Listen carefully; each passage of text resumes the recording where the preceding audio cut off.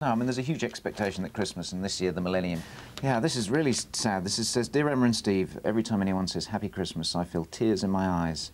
My dad died of cancer this year, and I can't bear the thought of Christmas. It makes me cry reading it. My dad died when I was seven. Any tears a very sad time, and you will all. Uh, dear Live and Kicking, I think that all holidays are a problem if your mum and your dad don't live together. At Christmas, my mum thinks that me and my sister and brother should stay with her, but my dad thinks we should go to my nan's and be with him. They say horrible things about each other, and that makes us sad. They both say it's up to us which house we want to go to, but we think it would be really mean. Who should we go with? Who's that? And speaking of not having too much money, our, our last letter. Dear Live and Kicking, am I the only one at all that you'd like to ask him? Um, write into us on our usual address. It's what's